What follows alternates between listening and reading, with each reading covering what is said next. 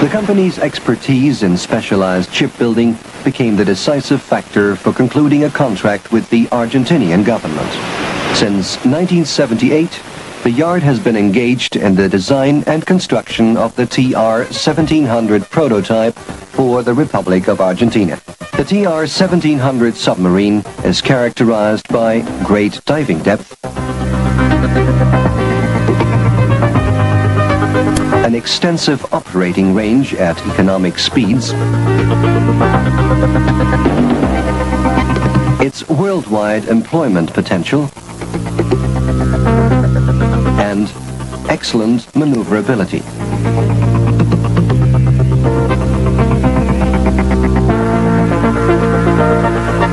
Because of its high top speed, the TR-1700 submarine is capable of pursuing even fast-moving targets.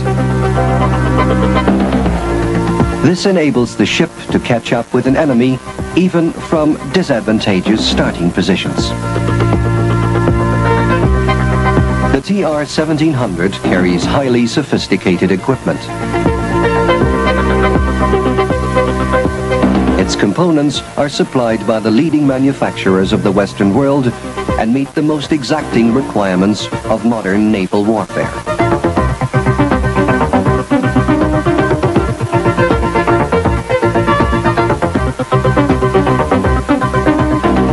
Ease the extraordinary strain of long missions, a high degree of living comfort is provided for the crew.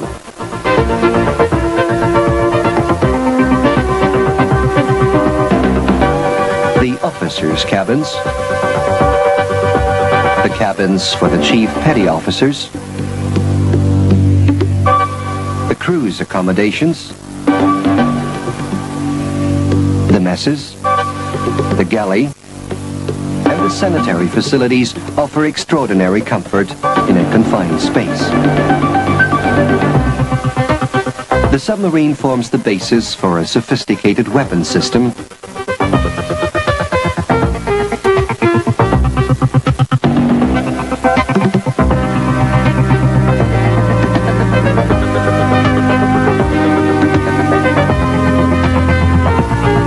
of super-sensitive sensors,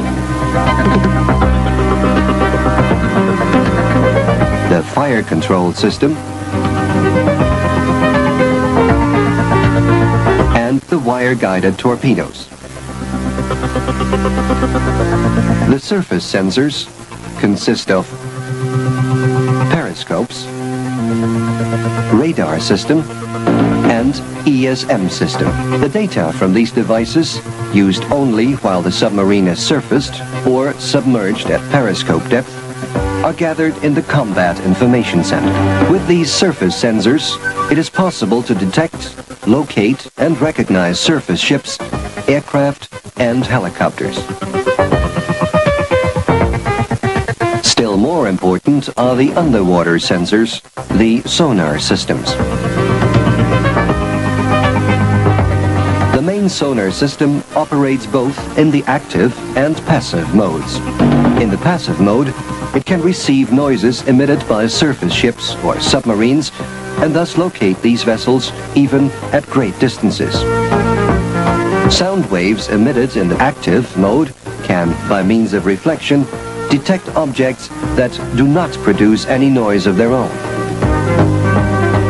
All target data are fed into the fire control computer, which evaluates the target bearings by means of a sophisticated digital computing system and freely programmable processors and transmits the target data to the weapons. The fire control system is capable of tracking and engaging several targets simultaneously with a very high hit probability.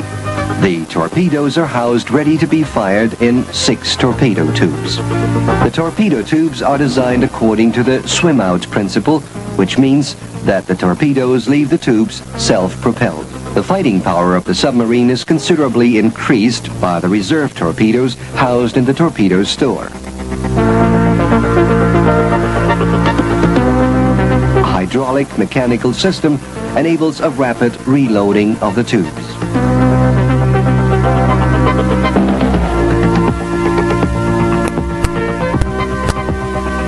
The TR-1700 has a rescue system which allows to save the lives of a trapped submarine crew in a great number of conceivable emergencies. A pressure-proof bulkhead divides the submarine into two compartments, each allowing the crew to survive for up to seven days, until they can be picked up by a rescue submarine, such as the DSRV of the U.S. Navy. In depths of up to 150 meters, the crew can leave the submarine in small groups through the diver's lock.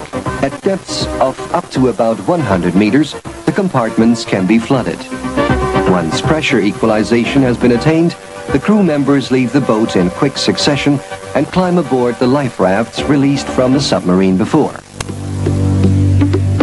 Another safety feature is the hydrazine system. In case of a danger situation, such as the jamming of the hydroplanes, the submarine can be surfaced by blowing the ballast tanks instantaneously.